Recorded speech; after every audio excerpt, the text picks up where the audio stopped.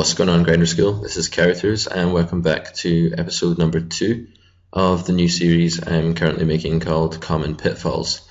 Um, really excited about this series. It's basically PowerPoint based, um, where we go through the common pitfalls that a new grinder um, can easily fall into. It's something that I've basically decided to make because I've been coaching for a while now and I've seen the same problems, the same pitfalls sort of rear their ugly heads time and time again. And so, um, what I want to do is make an archive of all these different pitfalls that you can easily fall into, but also easily avoid with a little bit of awareness, and show you guys what they are and how we can deal with them. So, like I said in the last episode, um, the way this series works is it's basically like a big chronicle of PowerPoints I've constructed. Um, and I'm just going to go through them each time and see what I can fit into each video.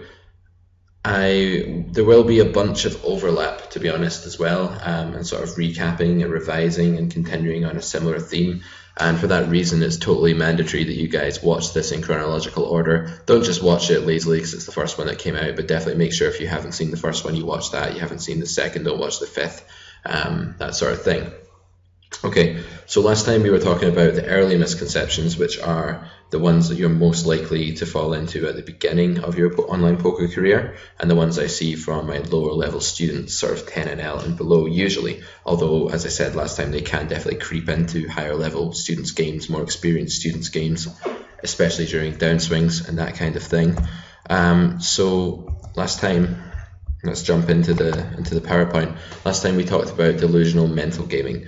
Um, basically, when you first start playing poker, and there are so many misconceptions out there in the market that have drawn you into the game, and so you sort of place too much emphasis on trying to solve your opponents without enough information, um, and not actually thinking about the technical aspects of the game or putting them on a range or whatever. So we talked about that role of psychology, the, the way the media sort of portrays poker, and why it is a problem for people to put too much emphasis on the psychological side of things, on their intuition, their gut feelings.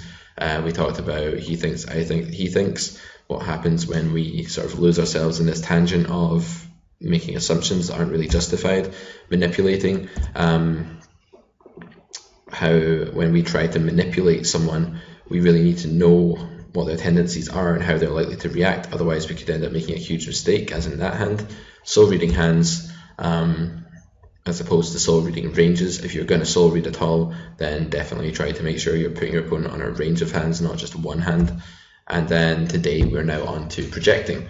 So, what do I mean by projecting? Projecting is basically when a poker player and their logical decision making process projects their own thinking patterns, their own sort of ways, ways and modes of thinking onto their opponent's game, and therefore they reach the conclusion that their opponents are thinking in a way that they are not, because they've decided that their opponent must think like them. And often that decision is made on a subconscious level. It's not something that you you really reason out. It's just it's a natural a natural intuition um, to think in this way.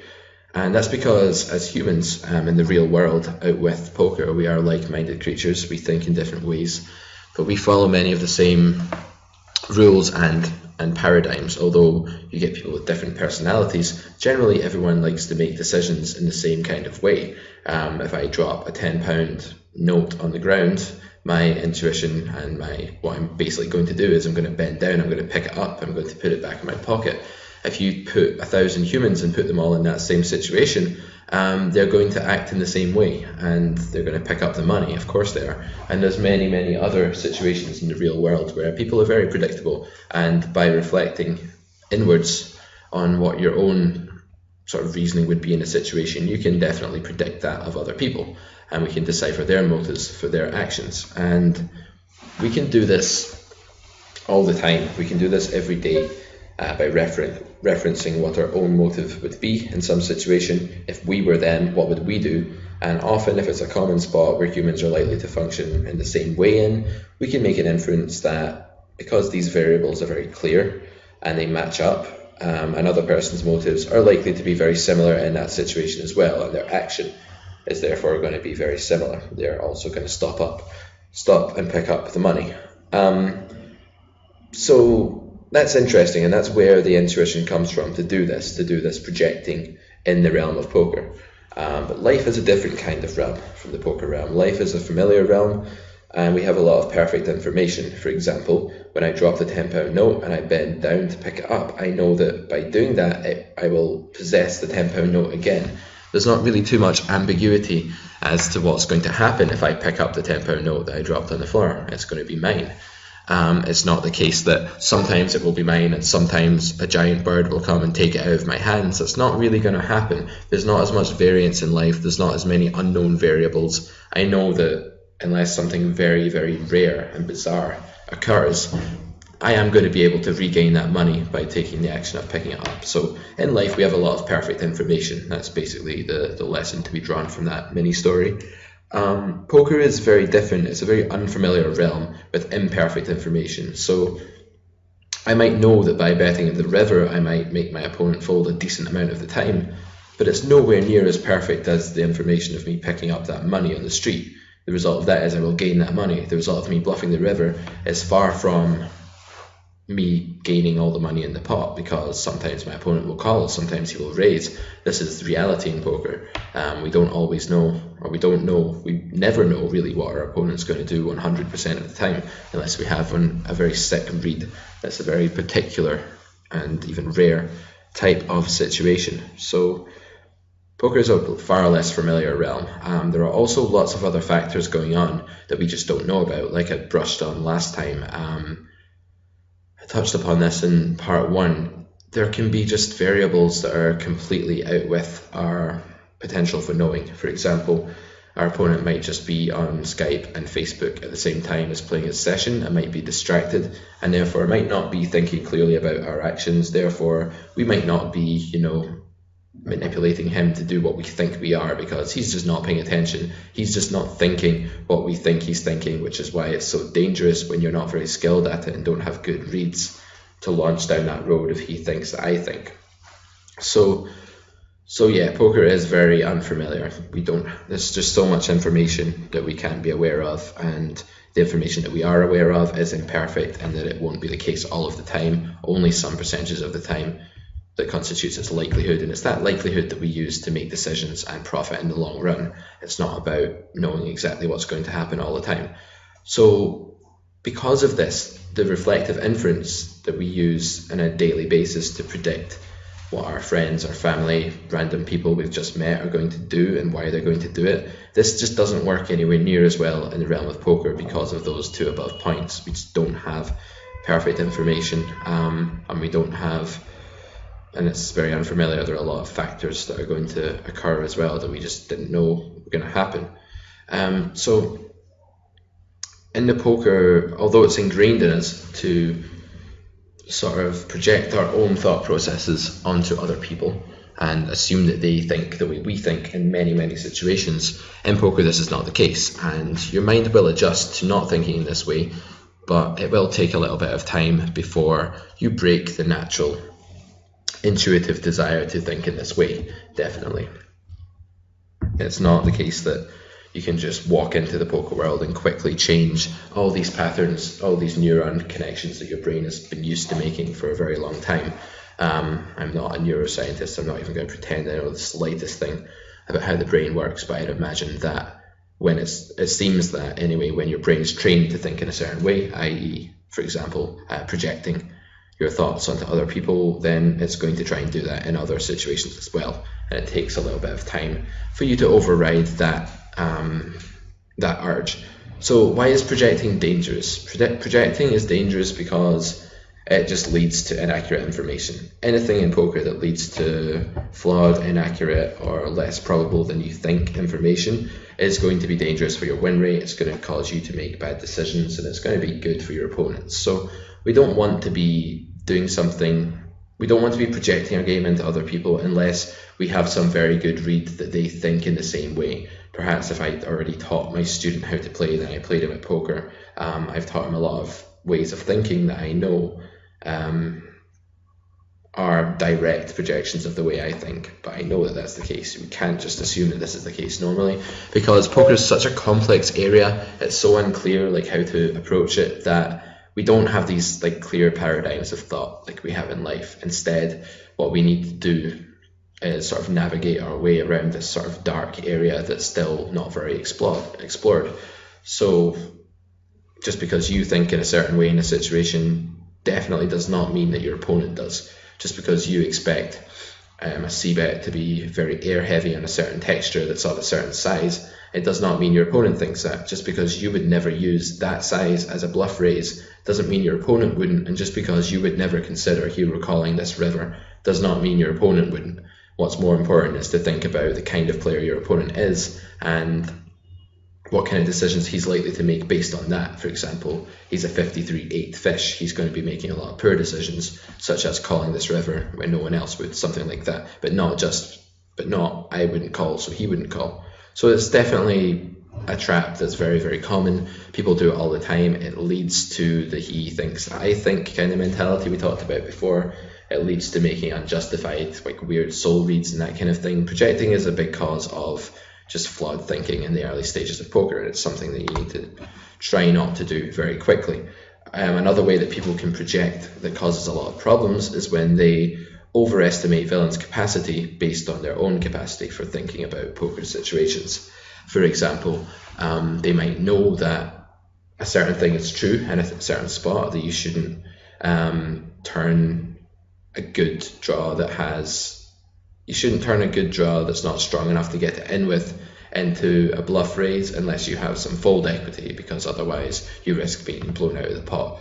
Um, if you then transfer that logic over to your opponent and say, my opponent knows this, therefore he's not doing this with a good draw with the can't call and all in, then you know you can see you're just making you're guilty of of of making this fallacy basically. Um, there's no reason for you to think that, but it is very tempting, nevertheless, to turn poker into, in order to try and simplify it, to turn it into this leveling battle of he thinks, I think, and therefore he must think this because I think this. That simplifies the game, and instinctively we're always looking for ways to simplify this game because it is very difficult and very complicated. So that's definitely those are the main drawbacks of, of projecting and the ways that they are manifested. Um, so here's an example about projecting before we move on to talk about variance. Um, we're in the button with 9-7 of diamonds and we open to three big blinds, the small blind and the big blind who are unknown fish, both call. You might be thinking, what do you mean unknown fish? Surely if we know they're a fish, they're not unknown. Um, yeah, but what I mean is we don't know very much about what's how they are a fish specifically. We just know that they have fishy stats, they call too much, they may be like limping in pre-flop, limp folding, whatever. They're doing something a regular would never do. So by process of elimination, we can just say that they're a fish, but we don't yet know exactly where their fish leaks lie. Although we can certainly make some estimates that they call too much, that they're stationary, that they don't think about situations very well, and they're not very good at putting their opponent on a range and acting accordingly. And they have strange motivations that aren't very logical for a lot of actions. But we don't know exactly um, in what way that's the case yet. So the small blind checks, the big blind checks, and oh sorry, the small blind checks, the big blind leads for 22 BBs into a 9 BB pot, makes like a gross overbet here. Um, it's kind of like a strange situation. Action to us, we have small blind still behind us on this 952 board. We have top pair, mediocre kicker, and we're not super happy about life. What are we going to do? Here's another very common type of reasoning that my student will make in this sort of spot um, no specific student, but lots of lower level students in general will say something of this nature. They will say, well, this would be a ridiculous value size, as villain could never expect much action from worse hands.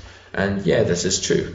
But again, what you're doing right there, you're projecting your knowledge onto your opponent's game. You know that you know that by making such a massive overbet, you're folding out most of the worst hands it could call and only and narrowing your opponent's continuing ranges to mainly better hands. But why would your opponent know that? And if he does know that, is he even going to think about it upon making this decision?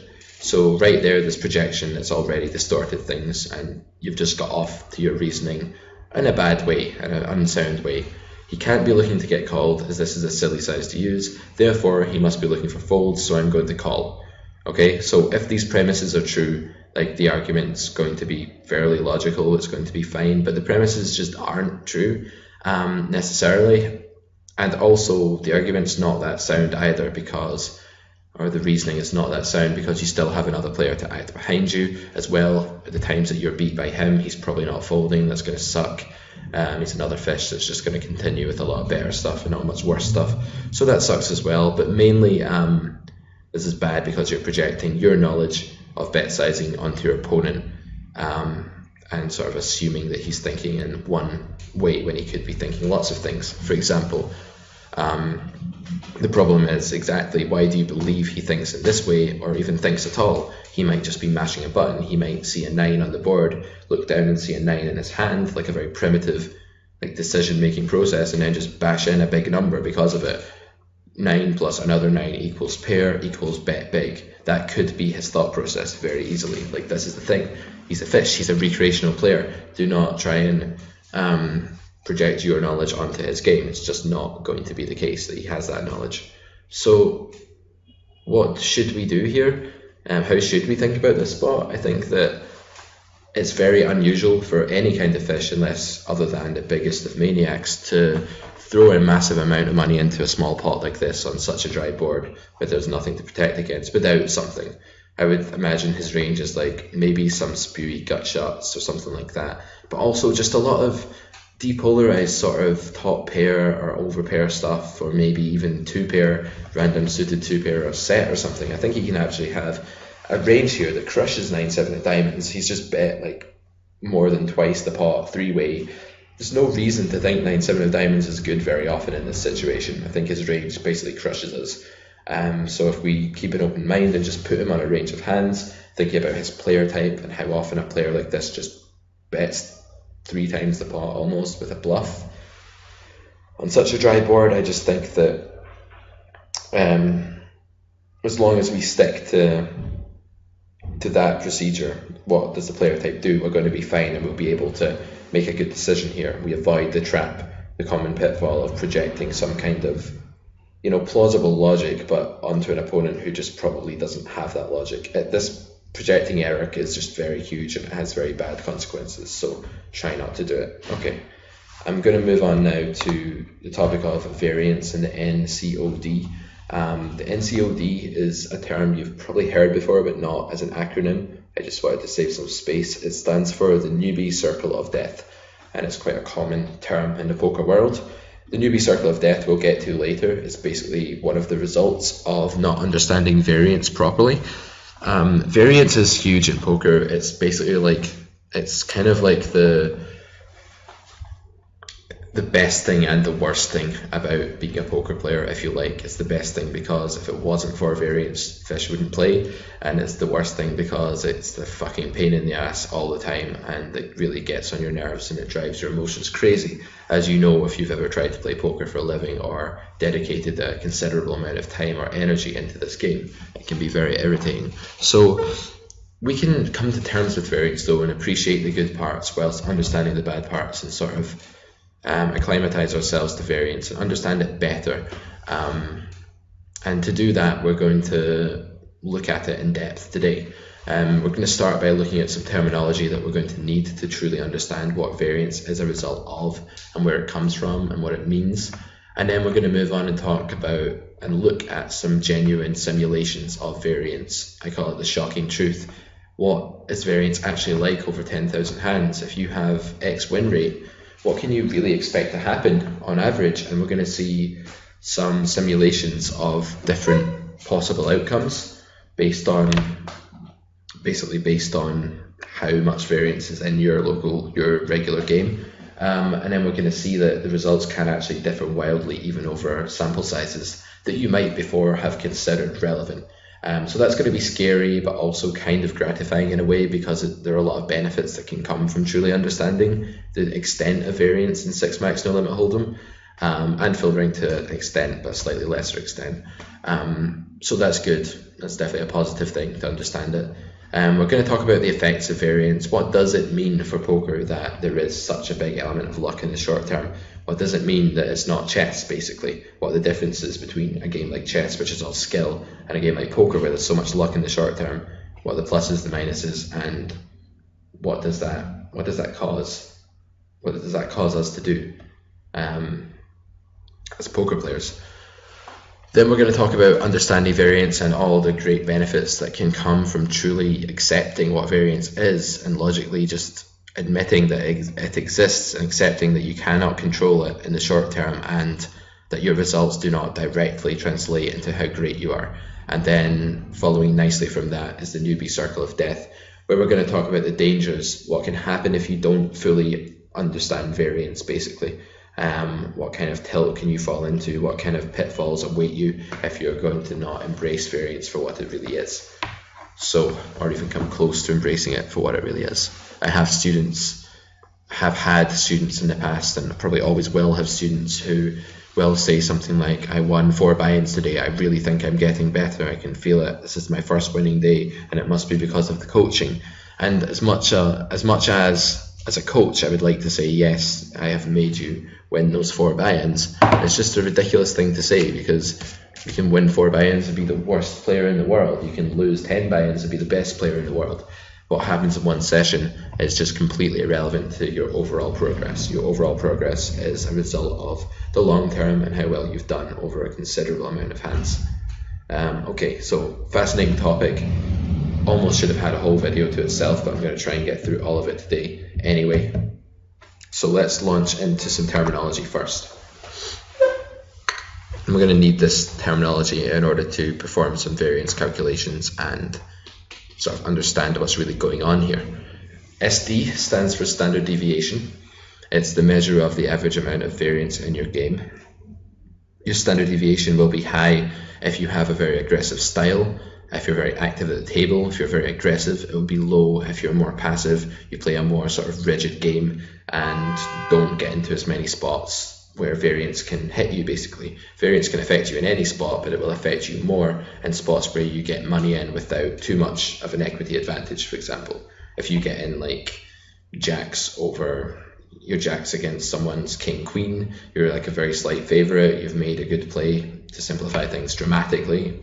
Um, you've probably made a good play, but the thing is that there's a lot of variance in this spot because your EV is much lower because your equity edge is lower. You're only 52% favorite or whatnot, and so it's going to take a very very long time before that translates to anything meaningful. So your standard deviation will be higher if you have if you take more of these marginal situations for a lot of money, and it will be lower if you play a more nitty controlled style.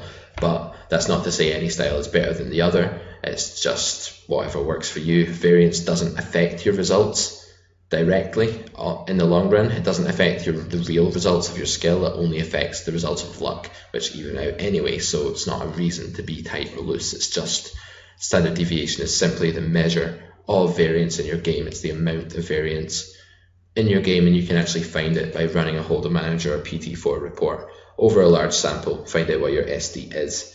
Um, I'll talk more about SD um, soon. I think for six max, it's usually around 60 to 100. If I'm not mistaken, I checked mine, it was about 80. This was a, about a year ago or something, but we'll look at SD more in a minute when we get to running some simulations. Win rate in BB per 100 is the number of big blinds you win on average per 100 hands, and it's determined by your skill advantage over the average competition. So, if you're a really good player, your average, your BB per 100 average will be like six big blinds, eight big blinds, ten big blinds. If you just have a small advantage over your competition, it'll be one or two big blinds. Um, obviously, there's a relationship here between BB per 100 and standard deviation. The higher your win rate, the lower your sorry between variance and and win rate the higher your win rate, the lower your variance will generally be. The less downswings you'll have to encounter, the smaller the downswings will be, the bigger the upswings will be, the more it will level out in the long run. You won't go through terrible times as much. Um, so yeah, your variance is basically calculated um, by combining your win rate and your standard deviation. You can select a win rate, which lowers your variance, and a standard deviation will the higher the standard deviation is, the higher your variance will be. So the amount of variance you encounter is going to be a sort of a relationship between these two things and how they balance out, basically. Um, so variance is literally just the separation between expected results and actual results based on the fact that poker has an increasingly larger luck factor over a smaller sample, over an increasingly smaller sample. Um, you have something called all in EV that I'm sure you've all seen in your graphs and like to have a look at out of interest and things. All in EV is one of the ways in which uh, variance is this sort of discrepancy between real results and expected results as measured. There are lots of other ways that that discrepancy can exist, though. It's not simply based on the times that you got it all in and how well you did. It's based on all the other types of situation where you didn't get it all in. The time you had to fold because your opponent had the top of his range and shoved over your bluff. That's not reflected at all in your all in EV, but it's still variance of the same kind, and it still represents uh, the separation between expected results and actual results based on luck. Um, then we've got simulation, which is a randomly generated result found by running out X amount of hands with a certain SD and win rate as our input variables. So we're going to plug some SD into a little nifty program, some win rates in, and have a look at the simulation and see what the different simulations show. It will give you 20 simulations at random. Um, based on that SD and that win rate, and that those will reflect what your variance looks like. How close they are together is the measure of variance, basically. So let's do that now. Okay, um, I have the program here. So as you can see, um, we have a few input values. We have win rate in big blinds per 100. So let's say, let's call that, um, let's say that you're only a marginal winner or a decent marginal winner um, three big blinds is not so bad. You win three big blinds per 100 hands. That's okay.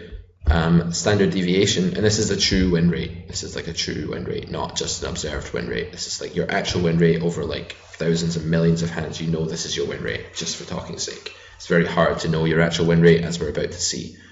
Um, standard deviation between 60 and 100, I think, is average. Let's plug in 80 and say that this is for an average six max player. And um, we're going to simulate um, how many hands should we simulate? Let's start at the beginning and just show how ridiculous it is when someone says, oh, I've had a winning session, look how much better I've got.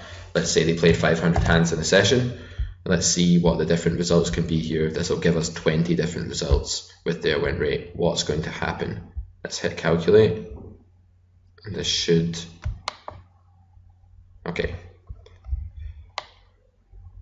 So here are big lines. here we have the EV line and the baseline is zero. This bold line is the EV line. This is what the EV actually is, what's expected to happen. Their EV here, if they have this win rate, is 15 big blinds. That's how much they can expect to win. If you play 100 NL and you play a session like this, you can expect to win $15 on average if that's your win rate in those games. One of these sessions, they've won 608 big blinds, they've won six buy-ins. Another one, they've lost four buy-ins. Um, they've lost three and a half buy-ins. They've lost two and a half buy-ins. They've won 300 big blinds. It's just very, very random. Let's run it again and see what happens. It will just give us another one. Look, look at this downswing. This poor guy's lost six buy-ins in won session. That's just a one in out of 20 simulations. One of them has lost six buy-ins. Um, so to tell me that your coaching has made you one in that one session is just pretty ludicrous. Okay, so hopefully that's like eye-opening for how little a session depends on your win rate, which you probably already knew. But now let's make this say that you've played 5,000 hands. Sometimes people who don't put in a lot of volume because they have other commitments and they don't multi-table too much um, will play 500,000 hands in a month and they'll say, This is my best month ever, look how well I'm doing. Well, I've got news for you. This is just one simulation, it could have been something else.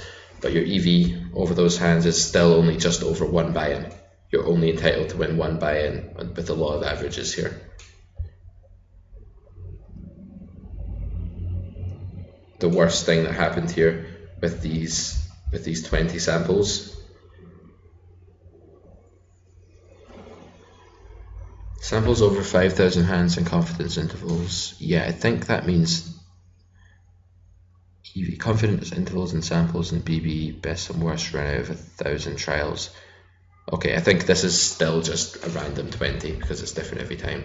Um, so this one, for example, is really bad. We lost 18 buy-ins in 5,000 hands in the month. We like you could have the same win rate. This could be your win rate, and you could win 16 buy-ins or you could lose 18 buy-ins. We calculate again. If we keep doing this, we should find that most of them are above the line. Here we have like one, two, three. How many losing months have we had here? One, two, three, four, five, six, and 14 positive months. So only like a third, two thirds of our months are actually positive. The rest are losing. So with this win rate and only playing 5,000 hands a month, only two thirds of your months are likely to be positive. If we do it again, just for talking sake, this one's even worse. We've got seven or eight losing months now or something like that. One really, really terrible month where we just downswung horribly and lost 17. One where we won 16. Um, this one is not so bad. We're not losing so much in this one. Only 14 buy-ins, but as you can see, 5,000 hands means very little. So let's change it up now and take the same win rate and give ourselves a bigger amount of hands um, to simulate. So let's now say that we play 50,000 hands. That's a lot of hands to put in a month. 50,000. Let's calculate what happens. We should find a bit more regularity basically.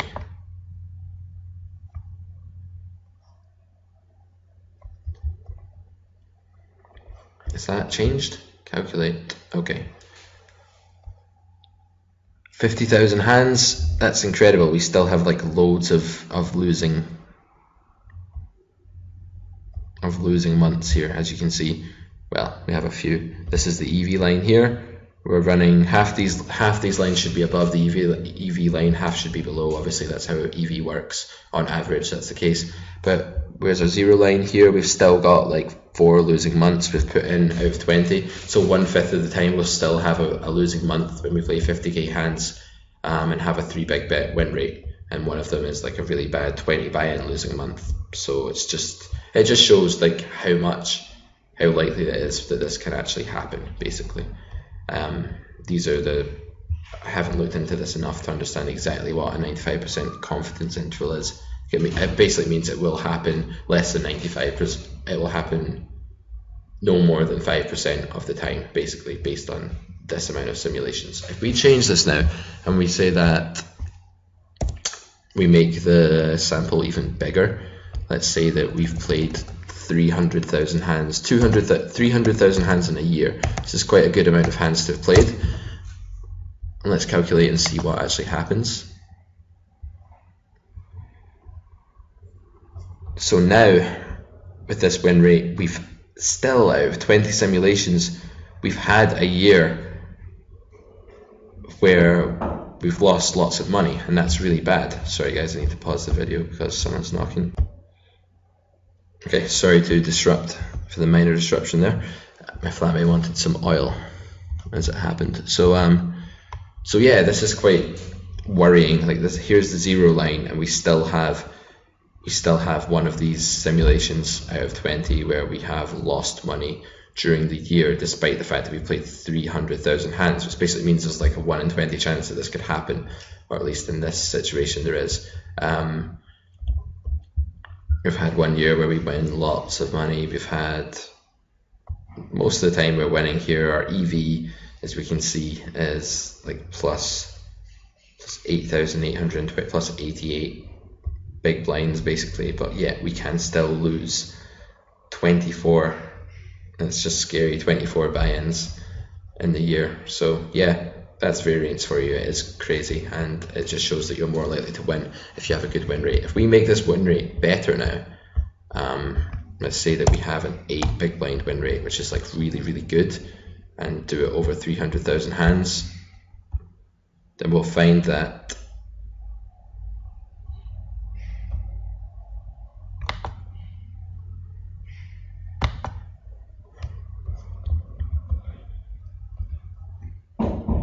here we can find that. So here we have a situation where we've not had any losing months. It's obviously made a big difference that our variances our variance has been reduced somewhat by the fact that our win rate is considerably higher. Um, so that's cool. That's good, but as you can see, within these winning years of 300,000 hands, there's still some that are considerably better than others. Like if we play for 20 years with this win rate non-stop, one year we've won like well, we won 38, 380 buy-ins, and one year we've only won 91 buy-ins. So it's like a huge difference. Um, and it just goes to show. And most of the time, though, you can see that the larger the sample, the closer these results are going to get towards the EV line. So if we say 800,000 instead, and we calculate that, we'll find that these lines get closer and closer and closer to the EV line. But you can see to get some people think that this is a result of having a small win rate and playing 20,000 hands, but that's not. They expect that this is what it should look like. If they're winning, it should just go straight up, and if they're losing, it should go. It should have different. Um, should go up and down a little bit, but that's definitely not the case. You've got a situation where you have to play an extremely large amount of hands in order to achieve that kind of result. So yeah, food for thought.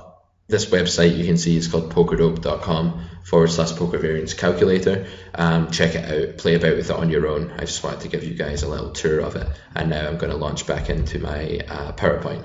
So,